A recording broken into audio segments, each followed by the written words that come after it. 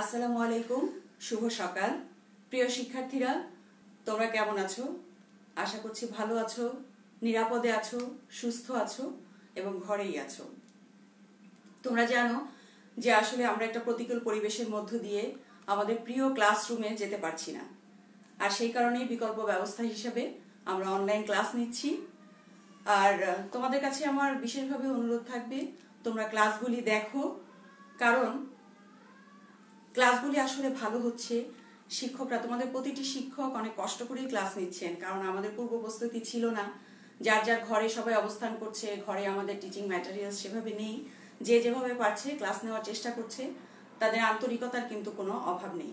কাজে তোমরা যদি ক্লাসে মনোযোগ মনোযোগী হও আমি জানি যে তোমাদের স্বাভাবিক ক্লাসের মতো অতটা উপকার হয়তো হবে না। তারপরও যদি একটু ক্লাসে মনোযোগী হও, ক্লাসগুলি করো, তাহলে কিন্তু তোমরা শিখতে পারবে এবং তোমাদের স্বাভাবিক যে পড়ালেখা সেটাও চালিয়ে নিতে পারবে। তো আমরা মূল ক্লাসে চলে যাই। আমার পরিচয় দিচ্ছি। আমি নাহিদা পারভিন, সহকারী অধ্যাপক গণিত। আমি পূর্বে একটা ক্লাস নিয়েছিলাম তোমাদের এবং ক্লাসটা নিয়েছিলাম জটিল সংখ্যার উপরে। এবং আজকেও আমি সেই ক্লাসটিরই কন্টিনিউশন আরেকটা ক্লাস নিব।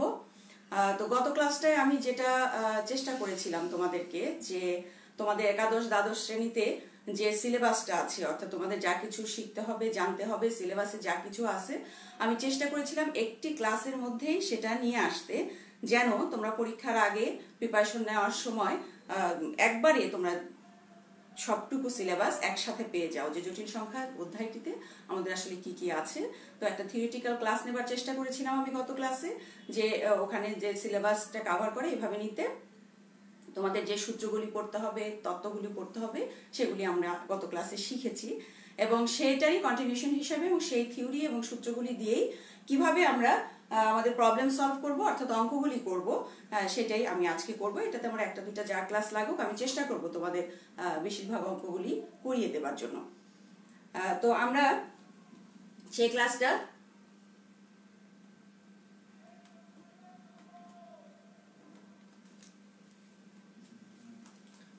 শুরু করার আগে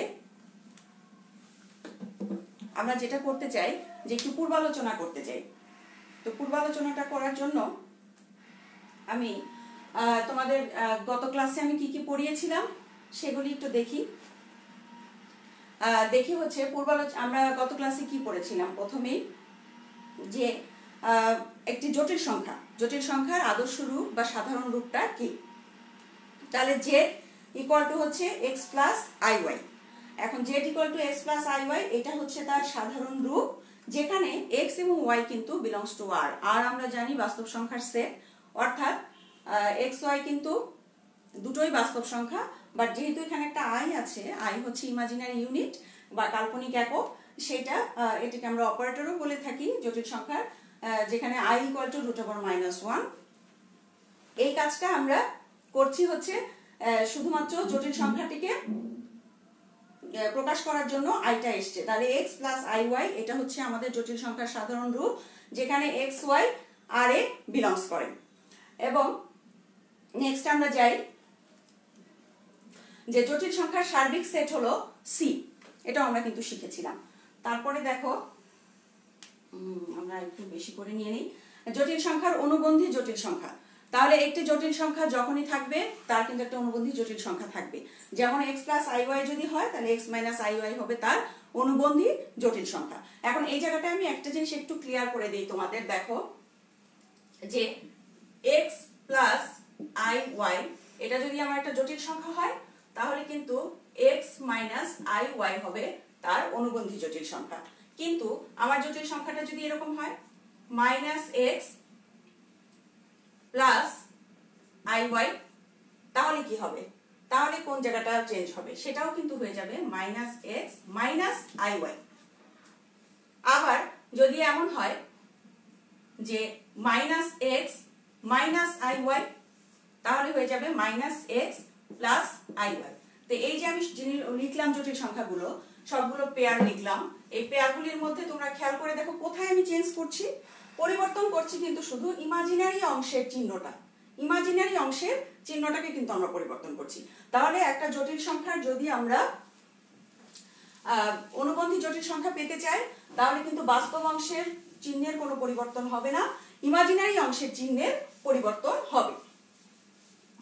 নেক্সট আমরা শিখেছিলাম মডুলাস নির্ণয়। মডুলাস নির্ণয়টা আমি তোমাদেরকে পিথাগোরাসের সূত্র দিয়ে এবং অনুবন্ধী জটিল সংখ্যার অনুবন্ধীর জটিল সংখ্যার সূত্র দিয়ে দুভাবেই কিন্তু আমরা দেখিয়েছিলাম যে আমরা যদি modulus of z equal to modulus of z দেখো, এটা চিহ্নটা আর কে ধরি, তাহলে আর ইকুয়াল টু হচ্ছে root over x square plus y square এটাই আমরা আমাদের মডুলাস অফ জেড এটা আমরা আর্গন চিত্র দেখিয়েছিলাম, তোমাদের মনে আছে?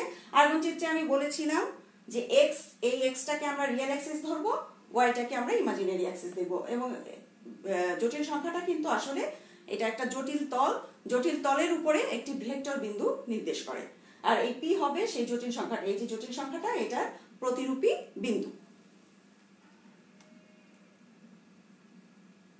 আচ্ছা এবার আমরা আসি আর্গুমেন্ট তাহলে আর্গুমেন্টটা কি?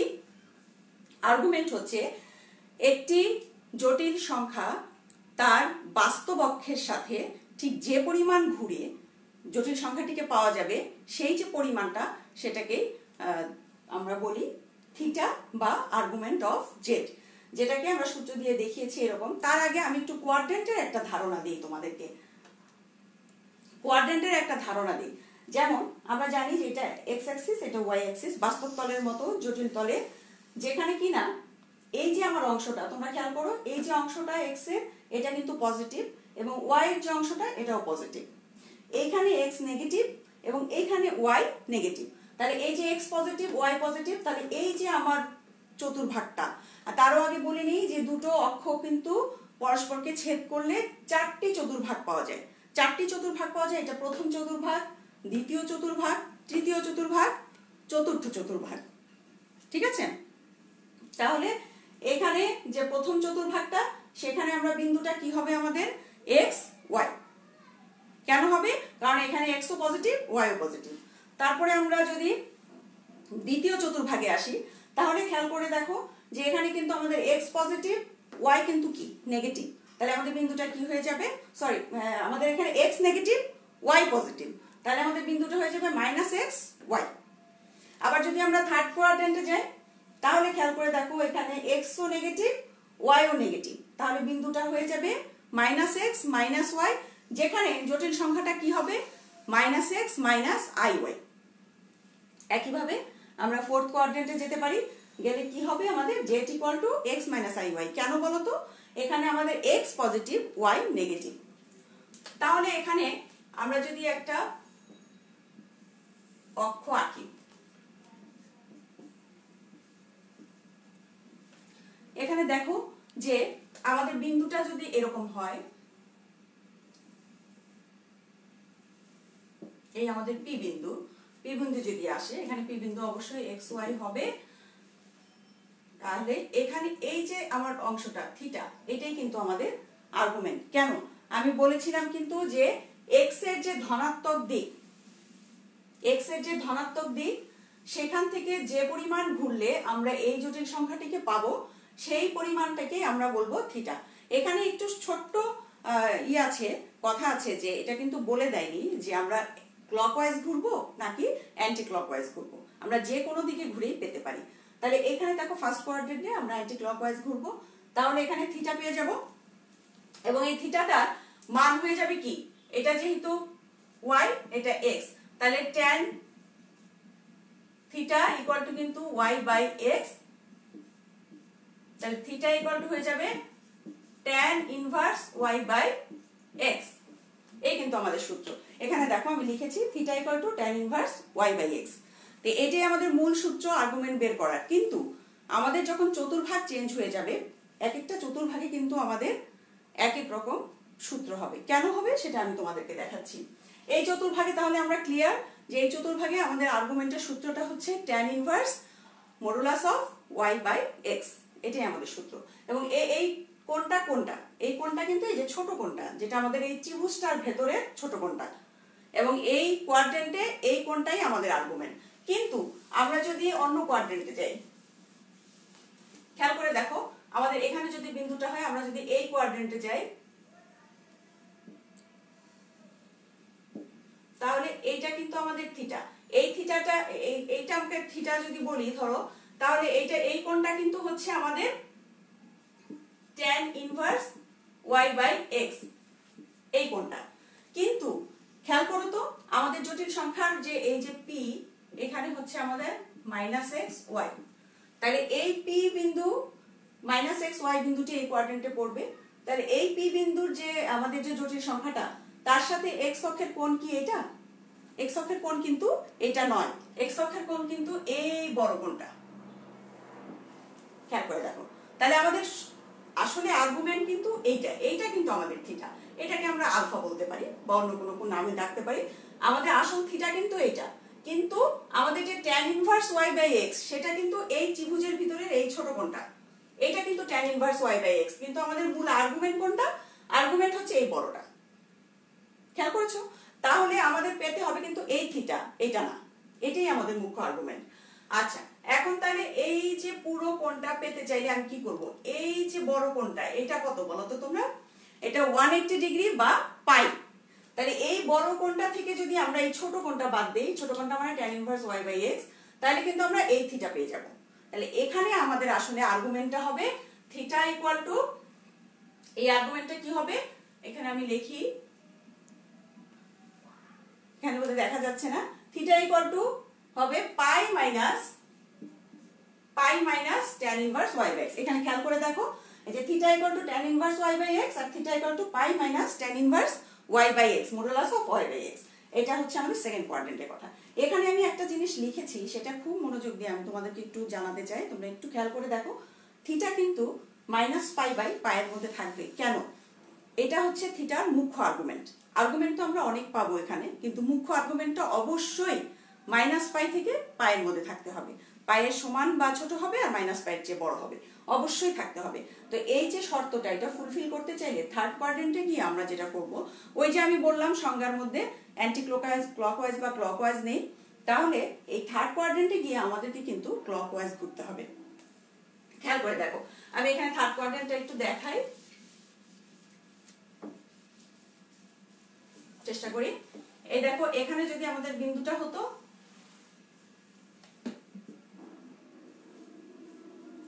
এটা। তাহলে এই যে আমার কোনটা এই কোনটা কিন্তু tan inverse y by x এটা কিন্তু আমাদের tan inverse y by x খেয়াল করে দেখো এই কোনটা কিন্তু আমাদের আসলে থিটা কোনটা থিটা দেখো x এর ধনাত্মক দিক থেকে ওই জটিল সংখ্যা পর্যন্ত। তাহলে এইখান থেকে এই কোনটা নিতে হবে। এবং আমি বলেছি যে থার্ড কোয়াড্রেন্টে গিয়ে আমরা ক্লকওয়াইজ নিব। কারণ আমাদের এই শর্তটি পূরণ করতে হবে। তাহলে এইটা কিন্তু আসলে আমাদের থিটা এটাকে আমরা আলফাও বলতে পারি বা tan inverse y by x বলতে পারি। তাহলে এটা আমাদের থিটা তো এখানে থিটা ইকুয়াল টু তাহলে কি হবে? খেয়াল করে দেখো। এই যে এখানেও কিন্তু ওই আগেরটার মতোই যে এই পুরো কোণটা হচ্ছে আমার পাই এবং এই, এইটুকু হচ্ছে tan inverse y by x তাহলে থিটা হবে pi minus tan inverse y by x modulus of y by x কিন্তু যেহেতু আমরা যেহেতু আমরা কি করেছি বলতো? ক্লকওয়াইজ ঘুরেছি, সেই জন্য এর সামনে একটা কি দিতে হবে?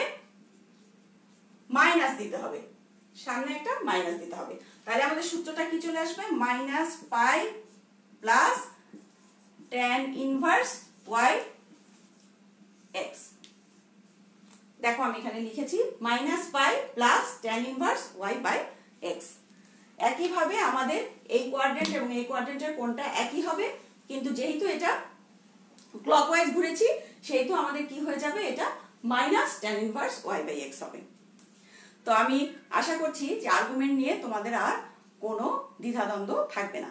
এক একটা কোয়াড্রেন্টে কেন এক এক রকম হবে সেটাও আমি দেখিয়েছি এবং সূত্রগুলো লিখে দিয়েছি। তাহলে first কোয়াড্রেন্টে theta equal to tan inverse y by modulus y by x second কোয়াড্রেন্টে pi minus tan inverse y by x এবং third কোয়াড্রেন্টে minus pi plus tan inverse y by x modulus of এবং fourth কোয়াড্রেন্টে আমরা যে পাবো minus tan inverse modulus of y by x ঠিক আছে? Argument নিয়ে আর কোনো ঝামেলা হবে না। যেখানে যে ভাবেই তোমাদেরকে আর্গুমেন্ট যে কোনো আর্গুমেন্ট বের করতে দিক না কেন, তোমরা কিন্তু পারবে।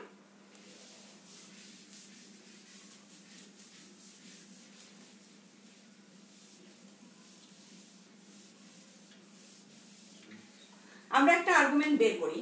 যেমন মনে করো জেড ইকুয়াল টু যদি দেওয়া ছিল আমাদের minus one minus i root three ঠিক আছে? Z equal to minus one minus i root three এই জটিল সংখ্যাটা দেখো তো। দেখে তোমরা বলো তো যে এটার প্রতিরূপী বিন্দুটা কি হবে?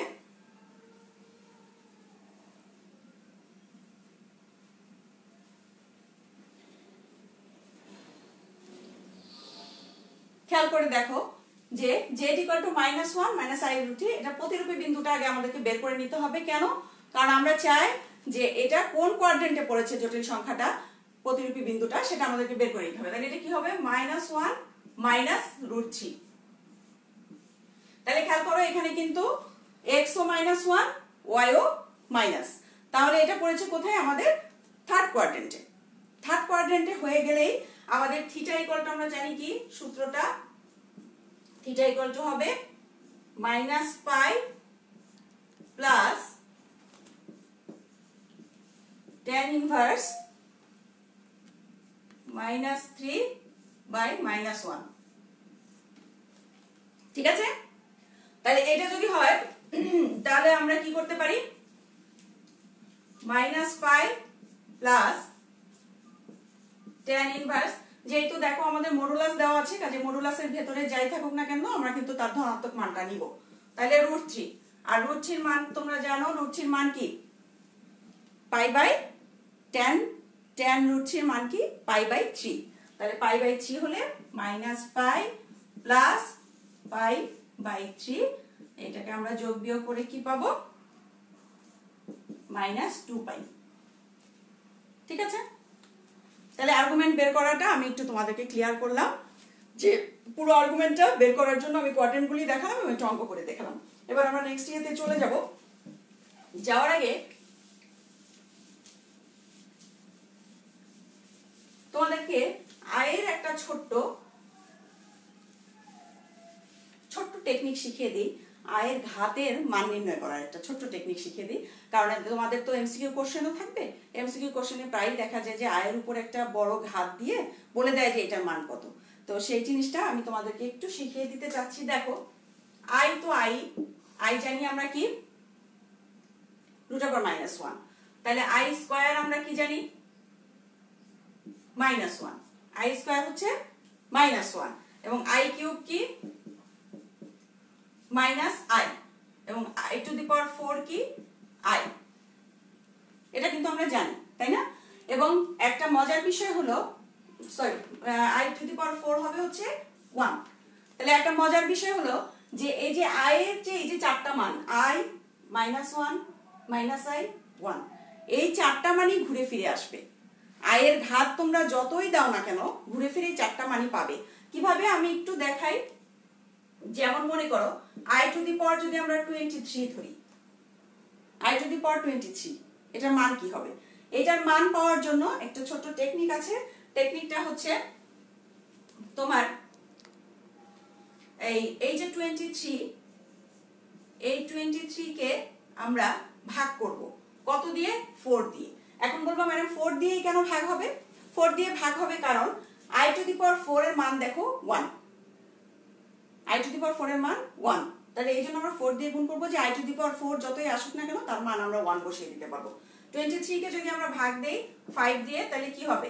জিরো থ্রি তাহলে আমাদের ভাগশেষ থাকল থ্রি ভাগফল ফাইভ আর ভাজক আমাদের ফোর তাহলে এই জায়গাটায় আমরা কি লিখতে পারি? I to the power four into five plus three equal to এটা আমরা লিখতে পারি না বলো? Twenty plus three equal to twenty three তাহলে এই জিনিসটা four into five i cube এটাও কিন্তু আমরা লিখতে পারি। তোমরা সূচকের অঙ্ক থেকে শিখেছো। সূচকের অঙ্কে যদি প্লাস হিসেবে পাওয়ার থাকে, তাহলে আমরা সেটাকে গুণ করে লিখতে পারি। বা গুণ থাকলে পাওয়ারটাকে প্লাস করে দিতে পারি। তাহলে এখানে আমরা লিখব i to the power four five into i cube এখন দেখো i to the power four মানে কি? ওয়ান তাহলে ফাইভ পাওয়ার হলে এটা মান ওয়ান হয়ে যাবে, থাকবে শুধু আই কিউব আর আই কিউবের মান কত আমাদের? এই যে আমরা লিখে রেখেছি মাইনাস আই তাহলে পাওয়ার যতই হোক না কেন, ঘুরে ফিরে কিন্তু আমরা ঠিক এই যে চারটা মান, এই চারটা মানই পাবো। সেটা কি? I minus i one minus one ঘুরে ফিরে আমরা ঠিক এই চারটা মানই পাবো আয়ের পাওয়ার যাই হোক না কেন। এবং দ্রুত গতিতে তোমরা এই আয়ের পাওয়ারের মানটা বের করে ফেলতে পারবে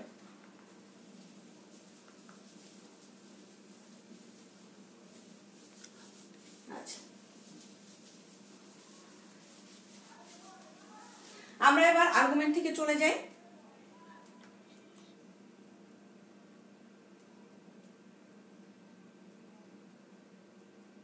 আচ্ছা আমরা এখানে কিছু শিখেছিলাম।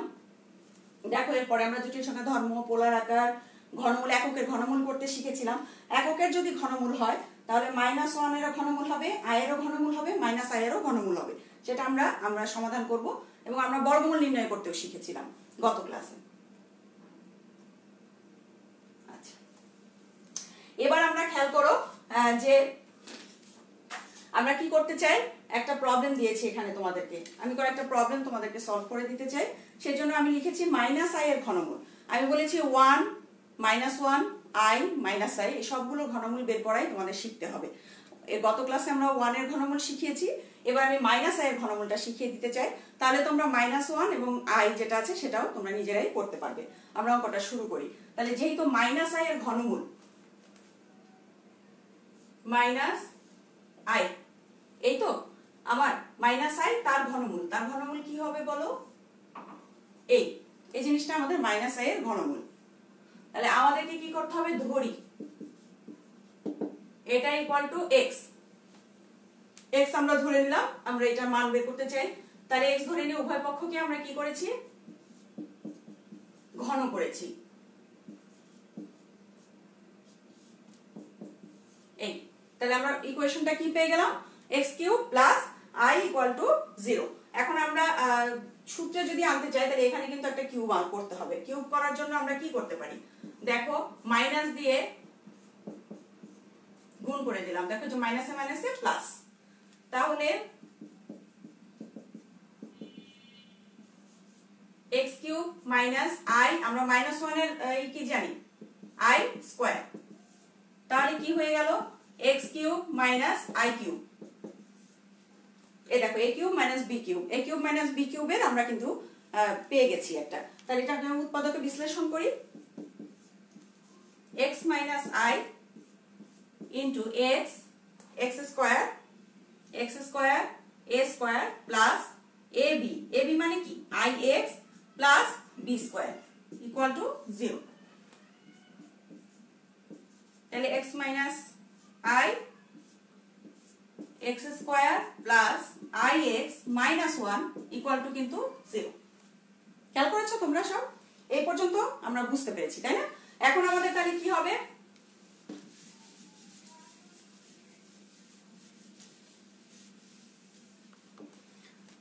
তাহলে আমরা পাচ্ছি যে x minus i equal to zero অথবা এবং কি হবে? X square plus i x minus one equal to zero ঠিক আছে? তাহলে এখানে এক্স ইকুয়াল টু আই এক্সের একটা মান পেয়ে গেলাম। যেহেতু ঘনমূল, আমরা তিনটা মান কিন্তু পাবো। এক্সের একটা মান পেয়ে গেছি। এখানে যেহেতু আমরা নর্মাল আর কোনো উৎপাদকে বিশ্লেষণ করতে পারি না, এখানে আমরা সোজাসুজি কোথায় চলে যাব? মূল নিয়মে চলে যাব। তাহলে x ইকুয়াল টু কি হবে? মাইনাস বি এখানে মাইনাস কি বলতো? Minus i plus minus root over b square মানে i square minus four into a হচ্ছে এখানে ওয়ান এক্স স্কোয়ারের সহগ আমাদের ওয়ান তাহলে আমরা ওয়ান নিব এবং আমাদের সি কি? মাইনাস ওয়ান আর নিচে কি হবে? টু ইন্টু ওয়ান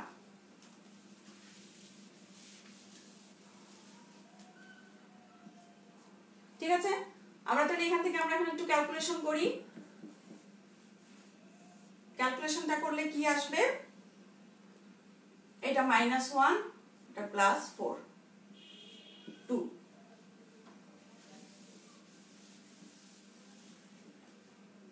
তাহলে two minus i plus minus root over three তাহলে কিন্তু আমরা এক্সের কয়টা মান পেয়ে গেছি? তিনটা মান পেয়ে গেছি। একটা হচ্ছে minus i plus root three two একটা হচ্ছে minus i minus root three two এই তিনটা মান আমরা পেয়ে গেলাম।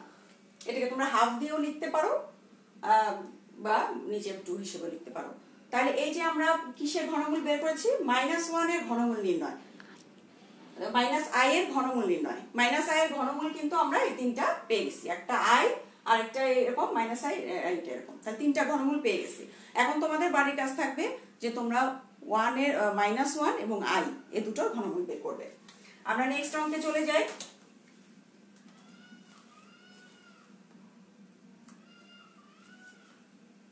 আচ্ছা।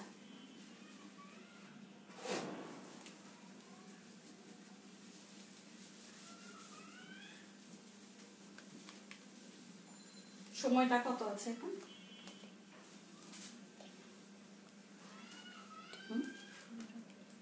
আচ্ছা তাহলে এখানে দেখো, এখানে যে অঙ্কগুলো মান নির্ণয় করার, এই সবগুলোই কিন্তু ঠিক এদের মতোই হবে। ঘনমূল এবং ফোর্থ মূল বা সিক্স মূল আমরা যেটা বের করতে চাই, সেটা আমরা বের করতে পারব। আমরা একটু নেক্সট অঙ্কে চলে যাই। এই আয়ের অঙ্ক রেখে এই অঙ্কটা আমরা একটু করার চেষ্টা করি। আমাদের যেহেতু সময় কম, আমরা একটু এই অঙ্কটা করার চেষ্টা করি। এখানে দেখো দেয়া আছে কি? দেয়া আছে x equal to two plus i তাহলে x equal to two plus i দেওয়া আছে। এটা দেয়া আছে তোমাকে এই যে একটা রাশিমালা, এই রাশিমালাটার মান বের করে নিতে হবে। রাশিমালাটা বের করে নেওয়ার আগে আমাদের যেটা দেওয়া আছে, তোমরা লিখো যে দেওয়া আছে। তাহলে x equal to two plus i তাহলে x minus two equal to y উভয় পক্ষে আমরা কি করব? উভয় পক্ষে বর্গ করব। অঙ্কটা তোমরা একটু ভালো করে খেয়াল করে দেখো যে বুঝতে পারো কিনা। X equal to two plus i এটা আমাদের দেয়া আছে। এবং একটা রাশিমালা আমাদের যেটা x to the power four minus four x cube plus six x square minus four x plus five এই যে রাশিমালাটা, এটা মান নির্ণয় করতে বলেছে। আমি কিন্তু তোমাদের বই থেকে মান নির্ণয়ের অঙ্কগুলো দেখানোর চেষ্টা করছি। এর আগে আমরা শুধু আয়ের যে বিভিন্ন পাওয়ারের মানগুলো, এগুলি নিয়ে দেখালাম। এখন আমি এই ধরনের একটা মান নির্ণয় দেখাচ্ছি। তোমরা বই যদি খোলো, বই খুলে দেখবে অনুশীলনীতে প্রচুর এই ধরনের মান নির্ণয়ের অঙ্ক আছে। এবং একটা করে দিলে আমি আশা করি তোমরা বাকিগুলো বাসায় প্র্যাকটিস করতে পারবে তাহলে এটা আছে, এটা আমরা উভয় পক্ষকে এখন আমরা কি করব? উভয় পক্ষকে বর্গ করব। বর্গ করলে কি হবে?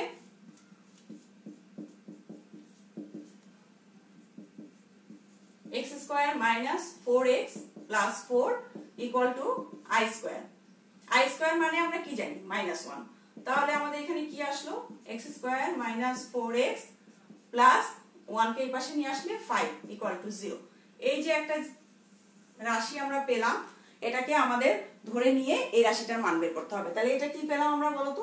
X square minus four x plus five equal to zero এখানে আমরা একটু ছোট্ট করে লিখে রাখি।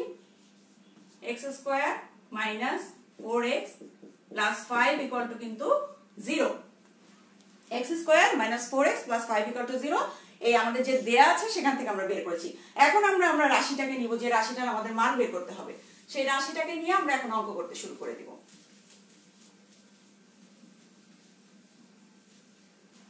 তাহলে আমাদের রাশিটা কি ছিল? X to the power four minus four x cube plus six x square minus four x plus five এখন তোমরা এক ধরনের উৎপাদকে বিশ্লেষণ করতে কিন্তু আমরা শিখেছি। মনে হয় ক্লাস এইট থেকেই তোমরা নাইন টেনেও শিখেছো উচ্চতর গণিতে।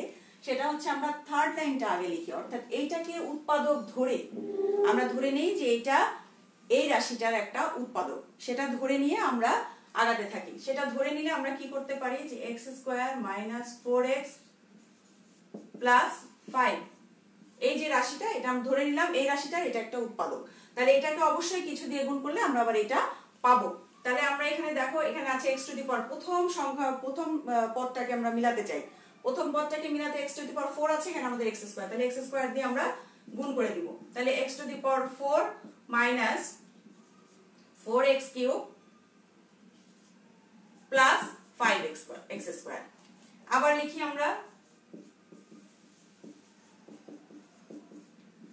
খেয়াল করে দেখো এই দুটো কিন্তু মিলে গেছে, কিন্তু এখানে ফাইভ এক্স স্কোয়ার এসছে বাট আমাদের হচ্ছে সিক্স এক্স স্কোয়ার তাহলে আমরা একটা ওয়ান দিয়ে গুণ করে দিব। তাহলে এটা কি হবে? এক্স স্কোয়ার দেখো five x square plus x square আমাদের সিক্স এক্স স্কোয়ার মিলে গেছে। Minus four x plus five দেখো, আমাদের লাইন তিনটা কিন্তু ফিল আপ হয়ে গেছে। তাহলে আমরা বুঝতে পারলাম যে এই যে রাশিটা, এটা কিন্তু এই বড় রাশিটার একটা উৎপাদক অবশ্যই। যদি না মিলতো, তাহলে আমরা বুঝতাম যে এটার উৎপাদক নয়। আমরা ধরে নিয়ে পড়েছি। তাহলে এখন কি হবে? X square minus four x plus five into x square plus one এখন এই যে এটার মান তো জিরো কাজে পুরো রাশিটার মানই জিরো তাহলে এই যে পুরো রাশিটা, এটার মান কিন্তু আমরা পেয়ে গেছি জিরো তাহলে এই ধরনের একটা অঙ্ক আমরা করলাম। তোমাদের বইতে প্রচুর অঙ্ক আছে, এই ধরনের অঙ্ক তোমরা করতে পারো।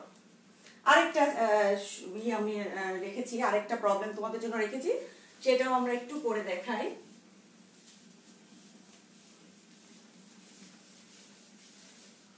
এটা করার আগে আমি একটু ছোট্ট একটা সাধারণ জ্ঞান। জ্ঞানমূলক জিনিস তোমাদেরকে শেখাতে চাই, সেটা হচ্ছে জটিল সংখ্যার সমীকরণ। জটিল সংখ্যার সমীকরণ মানে কি?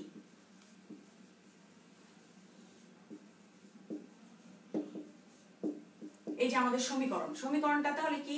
আমি যদি এরকম বলি modulus of z equal to one তাহলে এটা একটা সমীকরণ হয়েছে না বলতো?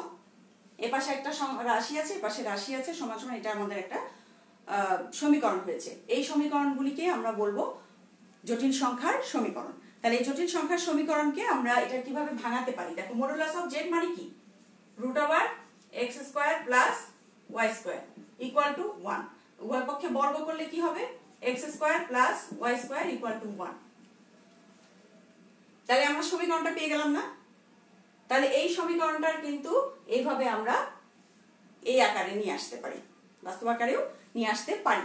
তাহলে এই যে modulus of z equal to one তাকে কিন্তু এটা, এইটা এখন কি রিপ্রেজেন্ট করে? তোমরা খেয়াল করে দেখো x square plus y square equal to one square যদি আমরা দিই, তাহলে x square plus y square plus r square এটা কিন্তু একটা বৃত্তের সমীকরণ।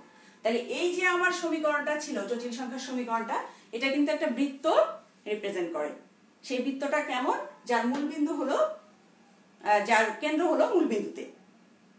কেন মূলবিন্দুতে কেন্দ্র? খেয়াল করে দেখো x minus whole square plus y minus zero whole square equal to one square তাহলে এই যে জিরো জিরো তার কেন্দ্র আর এ হচ্ছে তার ব্যাসার্ধ। ঠিক আছে? তাহলে আমরা এই অঙ্কটা করব।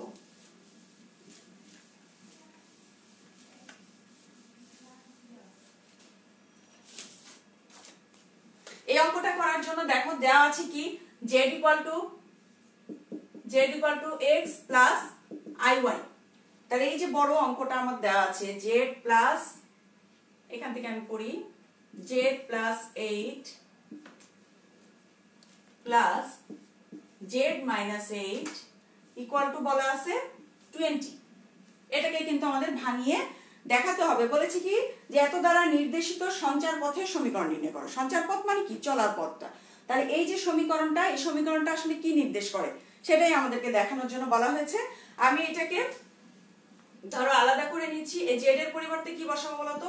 X plus i y plus eight plus x plus i y কোথা থেকে লিখলাম? জেড ইকুয়াল টু আমার দেওয়াই আছে, সেখান থেকে লিখলাম। এখন এটাকে আমরা কি করব? আমরা মডুলাসটাকে উঠিয়ে দিব। মডুলাসটাকে উঠিয়ে দিলে আমাদের কিন্তু হয়ে যাবে এরকম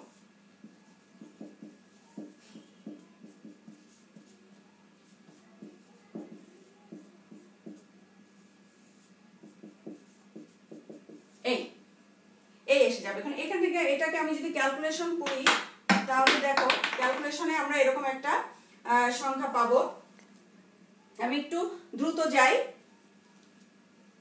আচ্ছা একটু দ্রুত যাই, জিনিসটাকে আমরা এরকম একটা এটাকে তোমরা ক্যালকুলেশনটা করবে বাসায়। করলে আমরা এরকম nine x square plus twenty five y square equal to nine hundred এই সমীকরণটাকে পাবো।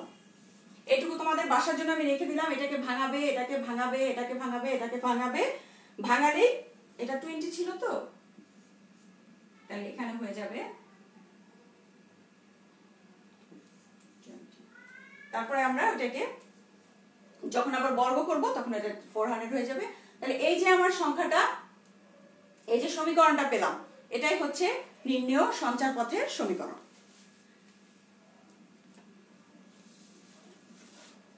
তোমাদের বাড়ির কাজ দিয়েছি আমি, দুটো উদ্দীপক দিয়েছি একটা মান নির্ণয় করতে দিয়েছি, এবং এই যে জটিল সংখ্যাটা, এটাকে আমরা আর্গন চিত্রে দেখাতে বলেছি এবং পোলার আকারে প্রকাশ করতে বলেছি, আর থার্ড নাম্বারে একটা বৃত্ত দিয়েছি, যে বৃত্তটা জেড ইকুয়াল টু এখানে এক্স প্লাস আই ওয়াই হলে, তাহলে জেড এর মায়ের সাথে এটার বৃত্তটা, এটা একটা বৃত্ত নির্দেশ করবে এবং এর কেন্দ্র ব্যাসার্ধটা তোমাদেরকে নির্ণয় করতে বলেছি। বাড়ির কাজটা তোমরা করবে আমাকে কমেন্টে ফিডব্যাক দিবে।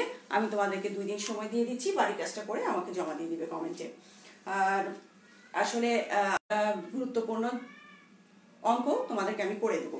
এবং তোমরা তখন এই চ্যাপ্টারটা যেমন থিওরিটিক্যালি বুঝবে, অঙ্ক ধন্যবাদ সবাইকে। ভালো থাকো, ঘরে থাকো, নিরাপদে থাকো। ধন্যবাদ।